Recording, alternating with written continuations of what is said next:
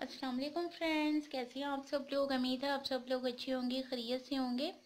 और अपनी ज़िंदगी को बहुत ही ज़्यादा अच्छे तरीके से गुजारने होंगे। ज़िंदगी अल्लाह ताला का तोहफ़ा है तो इसलिए इसको भरपूर तरीके से गुजारा करें। बजाय के रोने धोने के और अपने आप को कोसने के, ये हो गया, वो हो गया। जिस हाल में है, अल्लाह ताला का शुक्र अदा किया करें।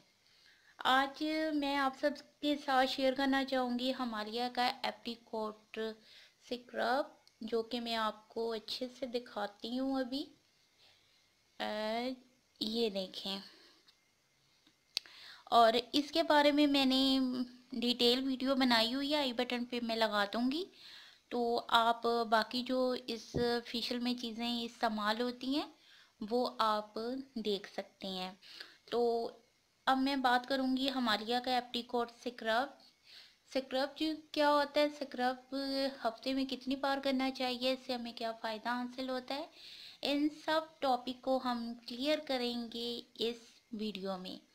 तो सबसे पहले मैं आपको दिखा देती हूँ कि ये स्क्रब कैसा है।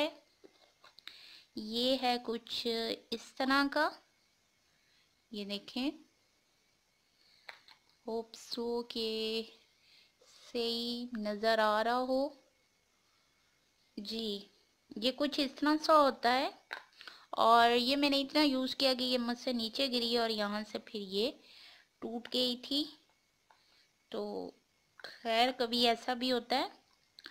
तो ये जो स्क्रब है, ये सेंसिटिव स्किन वालों के लिए बहुत ही ज़्यादा अच्छा है और इसमें जो ये स्क्रबिंग पार्टिकल्स हैं, ये बहुत ही ज़्यादा सॉफ्ट हैं। और जब भी आप स्क्रब करते हैं अपनी स्किन पे तो आप इस बात का ज़रूर ख्याल रखा करें कि स्क्रब आप टी जोन एरिया पे किया करें, जहाँ पे आपको बहुत ज़्यादा इसकी ज़रूरत होती है, क्योंकि वहाँ पे हमें ज़्यादा ज़रूरत होती है उन पॉइंट्स के ऊपर। आप अपने फोर हेड पे, अपने चिक्स पे और राउंड माउथ पे अपने मुँह के इर्द गिर्द जो हमारे लिप्स के एंड पे डार्कनेस हो जाती है, वहाँ पे भी आप इसको किया करें। और आइस के नीचे आप इसका इस्तेमाल बिल्कुल मत किया करें। आइस पे आपने नहीं लगाना, लेकिन बाकी एरिया पे आपने अच्छे से लगा के, बिल्कुल हल्के हाथों के साथ आपने गीले पानी, यानी गीला पानी करके अपने हाथों को गीला करके आपने ये फिंगर टिप्स के साथ आपने जो है वो मसाज करना, पूरा जो हाथ है वो आपने यूज़ नहीं करना। क्योंकि अगर आप पूरा हाथ तो यूज़ करेंगे, कोई भी चीज़ होती है या कोई फेस वॉश होता है, कोई क्रीम होती है, कोई मास्क होता है और स्क्रबिंग होती है। आप जब अपने पूरे हाथ का इस्तेमाल करती हैं तो आपकी स्किन बहुत ज़्यादा जो है, वो हीट अप हो जाती है, जिसकी वजह से एक्नी हो सकता है पिंपल हो सकता है, आपकी स्किन ख़राब हो सकती है। तो इसलिए जब भी आप मसाज करें तो आपने फिंगर टिप्स के साथ आपने मसाज करना है। इस स्क्रब से आपको क्या मिलेगा? आपके ब्लैक हेड्स रिमूव होंगे, आपके वाइट रिमूव होंगे। आपकी स्किन पे जितनी डार्कनेस है चाहे वो सन टैन की वजह से है तो वो बिल्कुल साफ़ हो जाएगी। लेकिन आपने इतना ज़्यादा स्क्रबिंग नहीं करनी। स्क्रबिंग आपने वहाँ पे करनी है जहाँ पे इसकी ज़रूरत है, यानी टी जोन एरिया पे। और उसके अलावा बाकी अपने फेस पे आपने बिल्कुल लाइट हाथों के साथ आपने स्क्रबिंग करनी है। और स्क्रबिंग आप इतनी ज़्यादा मत किया करें कि मिनटों के ऊपर ही ले जाएँ, नहीं। वन टू मिनट बहुत ज़्यादा काफ़ी होती है। अगर सेंसिटिव स्किन है, आप लोगों की मेरी तरह तो वन मिनट और ज़्यादा से ज़्यादा टू मिनट आपके लिए बिल्कुल काफ़ी होगा। हमने इतनी ज़्यादा स्क्रबिंग नहीं करनी कि हमारा चेहरा ऐसे टमाटर की तरह लाल हो जाए और फिर हमें फ़ायदा की बजाय कोई नुकसान हो। तो इसलिए हम सिर्फ़ वन से टू मिनट के लिए स्क्रब करेंगे।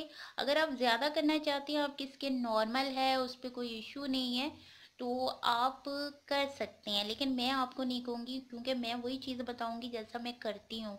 तो मैं टू मिनट से ज़्यादा स्क्रबिंग नहीं करती, क्योंकि मेरी स्किन जो है, वो बहुत ही ज़्यादा सेंसिटिव है। और फिर आपने स्क्रबिंग करने के बाद आपने क्या करना है इसको?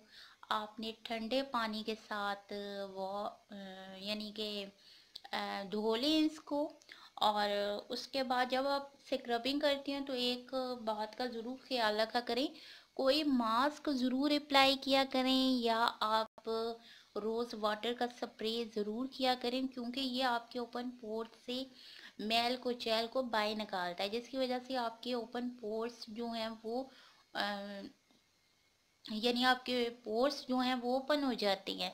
तो ज़ाहिर है उनको बंद भी तो करना है ना तो उसके लिए ज़रूरी ये है कि आप इस्तेमाल करें रोज़ वाटर का, टोनर का, या आप कोई मास्क लगा लें। तो बहुत ही ज़्यादा अच्छा और बेहतर हो जाएगा।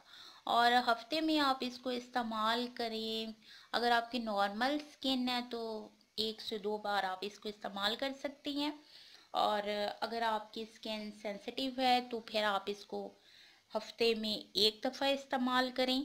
और इससे ज़्यादा जो है वो आप इस्तेमाल नहीं करें, क्योंकि इस तरह आपको कोई चीज़ फ़ायदा नहीं देगी, उल्टा नुकसान दे सकती है।